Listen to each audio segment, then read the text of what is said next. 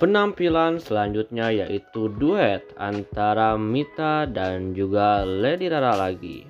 Wow, seru banget ya bila Lady Rara menjadi host Dangdut Academy 6. Mereka menyanyikan lagu ABG Tua.